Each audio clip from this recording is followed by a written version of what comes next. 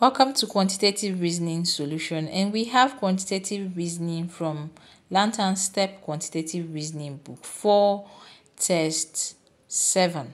Right, so we have those uh, charts more like a map. This is Mowe to Ikeja, we have 5 kilometers, and Ikeja to Yaba, we have 12 kilometers. Yaba to Ikoyi, you have 20 kilometers and Ikoyi to Lekki we have 16 kilometers. So we are meant to answer those questions. And if you're yet to subscribe to this channel as a new viewer kindly subscribe to this channel for more quantitative reasoning solutions and problems okay? So this particular section is actually on uh, private demand. So i decided to put it up here. So we have how far is it from Mowe to Yaba. This is Mowe to Yaba. So Mowe, you have to get Ikeja before Yaba. So from Mowe to Ikeja, we have 5 kilometers and Ikeja to Yaba is uh, 12 kilometers. So 5 kilometers plus 12 kilometers. So 5 kilometers plus 12 kilometers, you have 17 kilometers.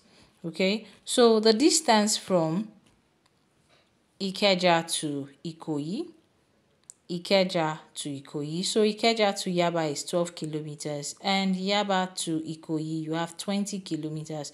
12 kilometers plus 20 kilometers you have 32 kilometers. Okay, so Yaba is dash kilometers closer to Ikeja than it is from Ikoyi.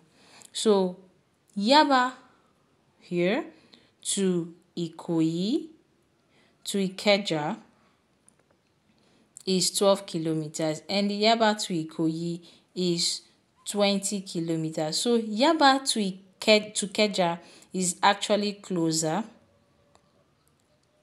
by 8 kilometers than Ikoyi, meaning you are going to have 20 minus 12 kilometers, which is 8 kilometers, right?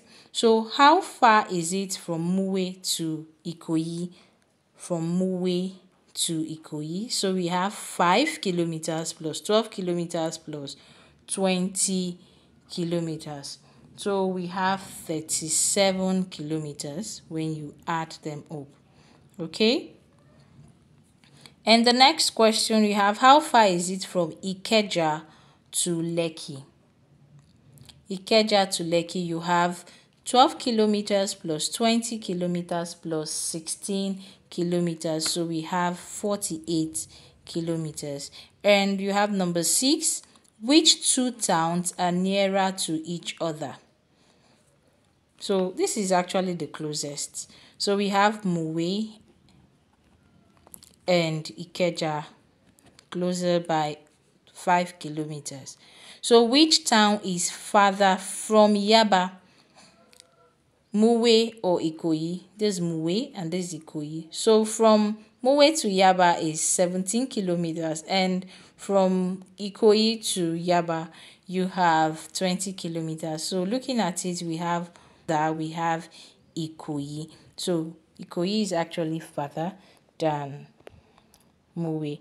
Alright, so do not forget to subscribe to this channel for more quantitative reasoning solutions and problems. Bye.